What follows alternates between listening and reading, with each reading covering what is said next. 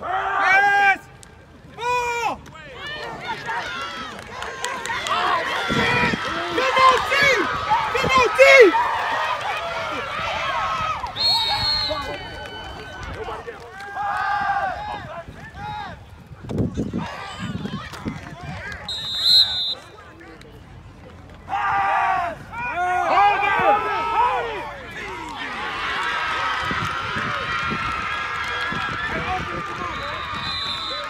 About his third or fourth catch of the day.